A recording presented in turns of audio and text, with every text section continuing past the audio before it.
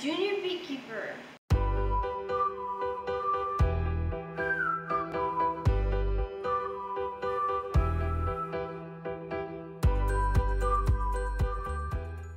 Welcome back to another video.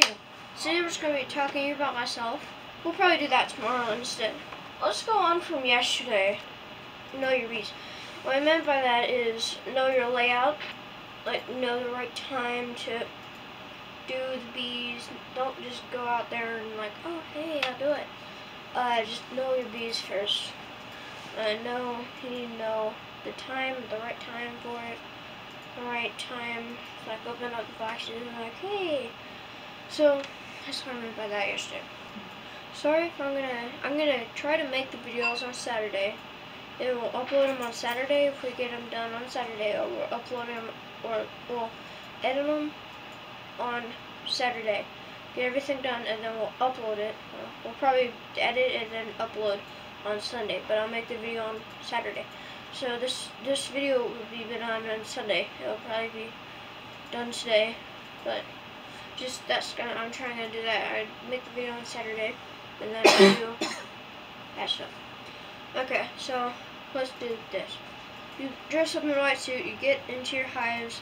You first smoke the front entrance, so it, and then you take off the lid. You there should be a little slit about that wide, that long. And then you smoke that little slit, and then you take off the cover, and you're like all around it. So then it's like their house is on fire or whatever. And then they're gonna make emergency exit like that. And uh, it's like your house is on fire. Okay, that's what it would be like for them. Um, and then you just do that, and then you get into the hive. Then what you want to look for is honey. You don't want any baby bees in it if you want to get if you want to make honey. You don't want baby bees or the queen or anything. All you want is just honey or just frame. Frame with just honey. Then you, uh, so let's do what we do here at our warehouse. We take it, after we're done with the bees, we take it home. We probably wait like half, like, we wait and then we do the right time when we feel like it. We have time. We take it and we go through this process. What you can do is you have this big bucket, okay, the white white bucket, clear, see, see through, and then you have this little bar, like little bar of, uh, like it's wood going across it. It's about that long, and the bucket's about that long, and then the bucket is about that wide. What is it, about that thick, right there. You'll take it, and you will, you'll take like a really spiky, uh, it's like a brush, but it's like there's like 10 of them, 10 of them, little spiky things. They're really sharp. So you go about that much inside the hive, inside the frame, and you scoop out all the honey. Once you go about that much inside the frame, you're just going to let it sit for a second and let it all drain out. If that doesn't help, go in about that much more. This should get it all. Go around the whole part of the honey. You don't have to do it technically the whole frame because that's just a waste of frame. Uh, we, we, we do it the whole frame just because we, we don't like to just leave some of it uncapped and some of it capped, but my point is here, then it drains, all the honey drains down to the bottom level, okay. There's a little panel where the, where the, uh, wax goes, and then there's little holes where the wax can't go under. There might be little, little pieces that go under and then there's a little slit, like one of those knob things for like a door, but they're like they're like lift open. I'll probably put a picture of it if I can find one.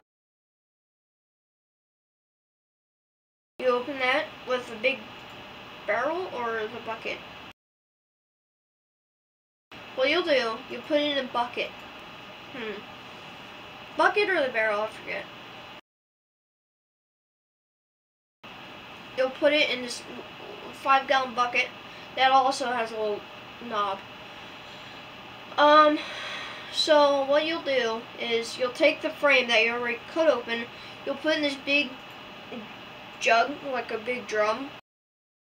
Little bar, you spin that probably like one or two minutes. You'll spin it for one minute or a little more. and then you'll uh, check the frames, make sure all the honey's out on the right side. You'll slap the side of it and the inside, and then all the honey all will come out on that side. If not all the honey came out, it's okay. You can always flip it around a third time. But the second time you'll flip it around, make sure it's all uncapped, and then you'll spin again for like a minute or more. So you do that again if if it uh, if it didn't work very well. But you'll probably spin it for two minutes. So you spin it for like two minutes. What you'll do, you'll take the frames, put it back in your bucket. What you'll do, like in the cart or the box that you got it from, you'll like uh, You'll drain it. You'll drain. So there's also a knob in the five big drum, about this big, probably more, about this big. A fine mesh strainer, and then uh, just like little teeny tiny holes. So then just the honey goes down. It'll take a while, probably like three, two hours, because how slow honey is is pretty thick. And you'll put you'll put that. You'll uh, we do two of them. We'll we'll put like like a little bigger holes one and we'll put the actual strainer in there. And then it'll drip down drip drip drip drip it all. And then but you have to stay with it make sure it don't overflow or just set at the right right little opening of it. And then wait a little bit and then it should drip all out into the bucket. Because you have to strain it because there might be uh, little cappings or whatever in it. You don't want any of that unless you're like one of those people that like to uh, like have comb in your honey. Yeah, that's what we usually do. And then, uh, okay guys, that'll be the it for today. I don't know if it's been 10 minutes or not, but I don't care. I'll see you guys next time. Have a great day.